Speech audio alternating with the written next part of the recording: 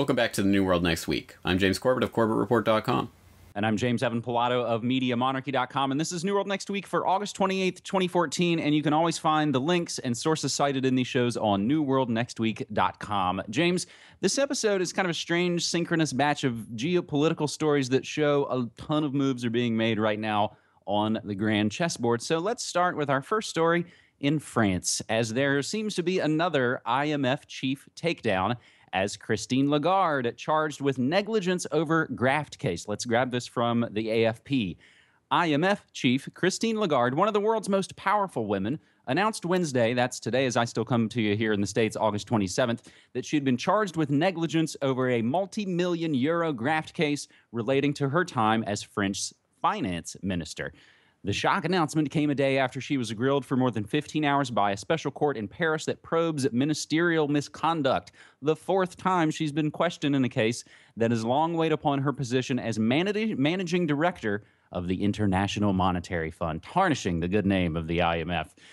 Quote, the investigating commission of the Court of Justice of the French Republic has decided to place me under formal investigation, she said in exclusive comments to the AFP Asked whether she intends to resign, she responded, no. Her fate now hangs on what the IMF board of directors will decide. I have instructed my lawyer to appeal this decision, which I consider totally without merit, said Lagarde, who replaced Dominique Strauss Kahn as IMF chief in 2011 after he became embroiled in a New York sex scandal involving a hotel maid. Now, James, this latest situation with Lagarde relates to payoffs back in the Sarkozy 07 election, which has strange connections to Adidas, the athletics company whose U.S. headquarters is right here in Portland. So I'll remind you to look at last week's episode 200 for more on how your city invests in the same criminals you occasionally see splashed across the front page. But James, we covered the the Wrath of Khan, as we called it, back in May 2011 on New World Next Week, and now there's another scandal. Is this just par for the course, or is there more going on here? Very good question. All that we know for sure is that there are a lot of shady dealings around that Sarkozy election. Um, there are so many different connections there that there's, I mean, clearly, I think that probably deserves an examination unto itself. But yeah, the question is why now? Why is Lagarde being taken down? Is she being taken down? Is this just a sort of Damocles they're just going to dangle over her head as kind of, uh, you know, don't don't step out of line because we have this over you?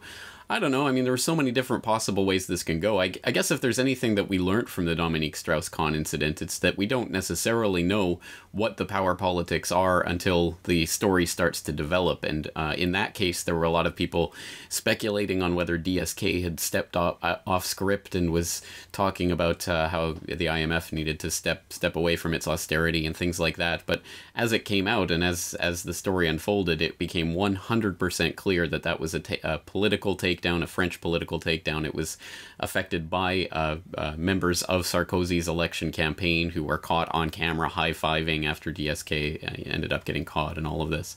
I mean, it was just was just blatant what happened there after the, those details started to come out, but it's not the type of thing that we necessarily have access to. I'm racking my brain trying to think of any reason why Lagarde might be being taken down right now. The only thing that's that's hitting me that was unusual in the last several months was her speech back in January with the magic number seven numerology mumbo jumbo that she was spouting. But is that really a reason for someone like uh, Lagarde to be taken down? I really doubt it, especially since all the talk before this point was how this was, you know, a wink and a nod to the people in the know. So why would she be taken down for that? You know, that kind of thing. Uh, so I'm looking for anything that she said that would be against the IMF kind of uh, official talking points or any indication whatsoever that she's going off script. I don't see any in the public record. Maybe if people have some, they can leave them in the comments. But uh, but at this point, again, I think we have to wait to see how this story develops. And uh, who knows? I mean, maybe she'll just use her get out of uh, jail free card, uh, and uh, and no- nothing will even come of this. So I think we have to wait to see what uh, what becomes of the story. I was thinking the same thing that hopefully folks out there will will share their ideas. And this may be one of those cases where we won't know until six months, 12 months down the road, where some story will then come out that we'll realize and we'll be able to kind of backtrack and, and connect the dots. So we'll continue to look into that. Our second story, James, we fly over Libya as we note the U.S. is furious after the source of mystery Libya bombing raids revealed. This comes from Zero Hedge. Over the last week, a new geopolitical mystery emerged. An unknown party was launching airstrikes against Libya. The strikes puzzled all media outlets, including Reuters, which just over last weekend reported that, quote, unidentified warplanes attacked positions of an armed faction in the Libyan capital of Tripoli on Saturday, residents and local media said. Local channel Al Naba said the planes had attacked four positions of the Operation Dawn, an umbrella of Islam- Islamist leaning forces. Now, those unidentified parties have been revealed as Egypt and the United Arab Emirates, which, as the New York Times reports, quote, have secretly teamed up to launch airstrikes against Islamist aided or allied rather militias battling for control of Tripoli in a major escalation between the supporters and opponents of political Islam. So, James, this is as I even seem to get lost in the ridiculousness of who's fighting who over what. The surprise here isn't the intervention, it's that both of those countries, Egypt and the UAE, decided to ignore the US. So again, from the New York Times, they say, quote, the United States, the official said, was caught by surprise. Egypt and the Emirates, both close allies and military partners, acted without informing Washington or seeking its consent, leaving the Obama administration on the sidelines. So now, James, in the relateds to this story too, we'll note that Libya is now a quagmire that looks like Somalia. But what Zero Hedge breaks down is how, like we noted last week, America is falling apart. James. It, well, exactly so, and on the international stage, spectacularly so, given events like these and the fact that now, yes, even relatively minor players on the geopolitical chessboard aren't even informing the uh, Washington of their moves before they make them. That really is a, a diplomatic insult to uh, to the leader of Pax Americana and something that would have been unthinkable a decade or two ago. So it is certainly a, a tectonic shift that's taking place right now.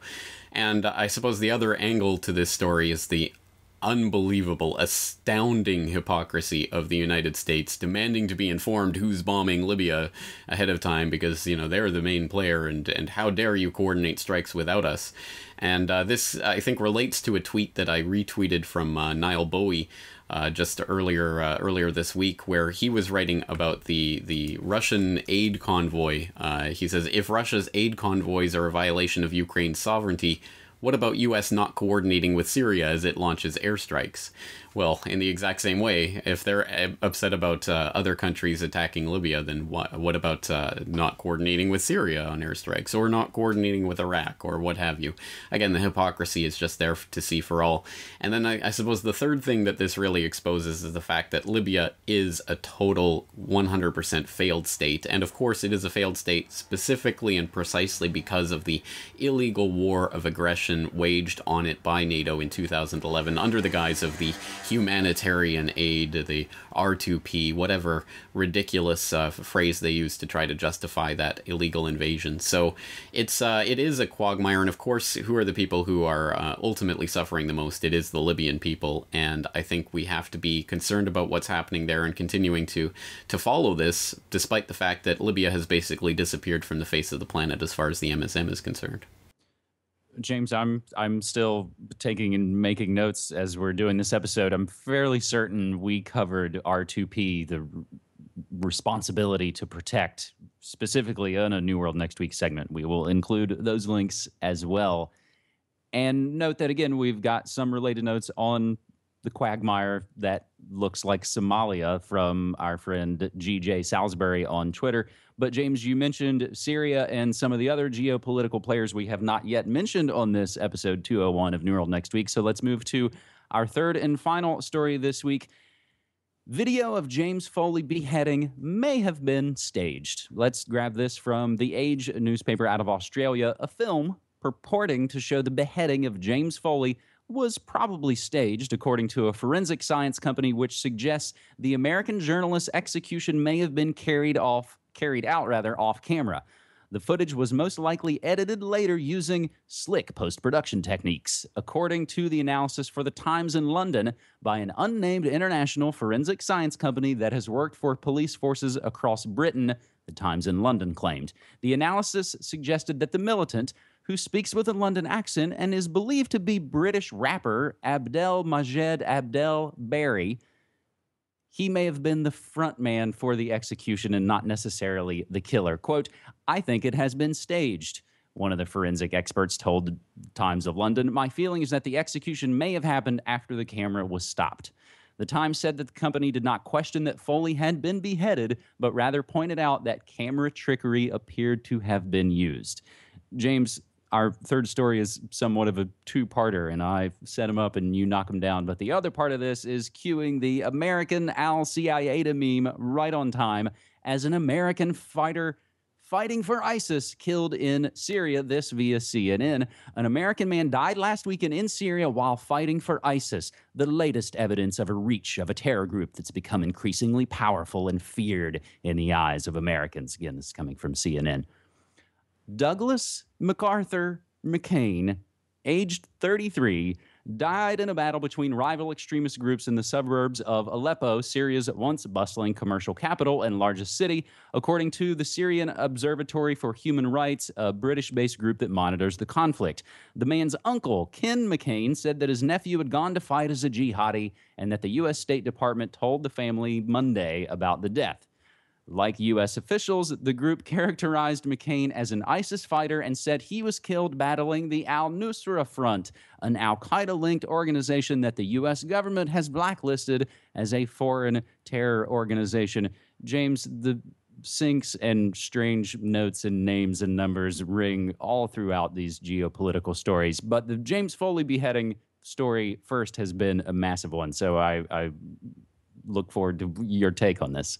Well, regarding the Foley video, I mean, it's interesting how nonchalant they are in saying, oh, yeah, it's a fake. I mean, this, uh, to me, is a pretty paradigm shifting moment. Not obviously in the fact that videos are faked. I think people already understand that. But the fact that this is now being quite openly admitted and and just treat it as well, just sort of part, part of the course. We are entering into that Running Man kind of sci-fi fiction uh, fantasy world where, yeah, you really can't believe anything that you're seeing. You really do have to question it, and uh, and here it is coming from a mainstream UK paper. So, it very very interesting to see that analysis come out. But of course, they want you to believe that, oh yeah, I mean the video was faked, but of course he was killed and killed in the way that we are told he's killed. It's just the video itself that was faked. I, I, have no more reason or basis for believing that speculation than I do any other speculation, including the uh, the claims by uh, uh, Bashar al-Assad's political and media advisor that Foley was killed last year and that the UN has information on that. Again, I mean, I'm willing to believe that's not the case, but uh, but again, it's it's very much up in the air at this point, especially given the fact that one of the most fundamental pieces of this entire story has been admittedly faked. Uh, I think we have to keep all of those uh, different options on the table in terms of explaining what this story really means. But on the broader theme of American Qaeda and all of this, I mean, it really is uh, extremely extremely obvious what is happening now. I mean, there is a concerted effort right now to crank up the fear to an 11 um, around this ISIS, IS, whatever terror group. It is absolutely the uh, the most I think the most worrying run up of, of fear uh, campaign that we've seen in recent years. And of course, I mean, the worry is always not the bearded Muslim radicals and the American uh, white Al Qaeda and all of this. It is obviously the false flag implications of this and the the talk of blowing up cities and the talk that Chicago is has been targeted and all of this kind of stuff. I mean, again, the uh, the the propaganda is off the charts right now. So I'm very concerned about that. And of course, we're approaching the October economic doldrums, where most of the uh, the market crashes in history have come, even as we're hitting 2,000 on the S and P and all of these other unbelievable highs on the stock markets. Um, again, there's just a lot of worrying things that are lining up for this uh, fall season. Yeah, James, you you've already mentioned October, and I was just even thinking this is this is our last episode for August, and there's an old saying that you never introduce a new a new product in August. That a lot of these things do seem to be sort of the the teasers of perhaps what what could be to come. So, James, I think in light of this episode 201, it seems like Adidas should stand for All Day I Dream About Synchronicity. A lot of those stories finding really interesting connections and, and syncs, if you want to call them that. I think we should probably wrap up this episode 201 and note for folks to please continue to submit stories to us on Twitter using hashtag New World Next Week. There's a lot of great folks submitting a lot of great stories and a lot of data points that we may otherwise miss. We may not be able to always include them in the show notes, but realize that, of course, it is always appreciated. James?